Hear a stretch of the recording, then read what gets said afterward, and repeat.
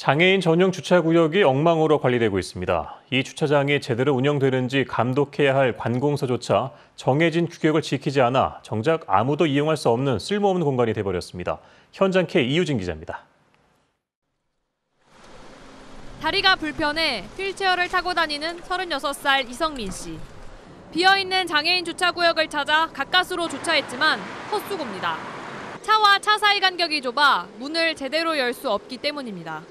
근데 지금 이게 하차로가 보장이 안 돼 있다 보니까 제가 휠체어를 내릴 수가 없는 이 씨 같은 척수장애인들은 휠체어를 내리고 펼 수 있는 하차로가 꼭 필요하지만 주차구역이 좁다 보니 옆차와 부딪힐 우려도 있어 아예 주차를 포기하는 경우도 잦습니다.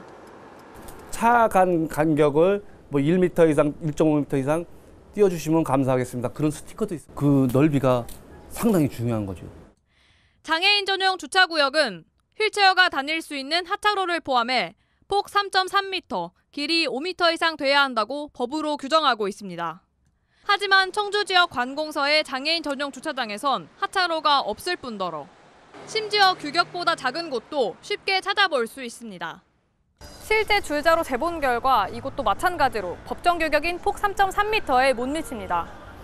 모두 시정명령 대상입니다. 장애편협법 제2, 3조에 서 시정명령이 가능하고요. 이행 강제금 부과, 벌금 등 제재가 가능하게 됩니다. 관공서는 특히 관련 법규에 맞게 설치하는 것이 매우 중요하죠. 단속에 나서야 할 자치단체조차 법을 지키지 않으면서 장애인 전용 주차구역은 아무 쓸모없는 공간이 돼버리고 있습니다. KBS 뉴스 이유진입니다.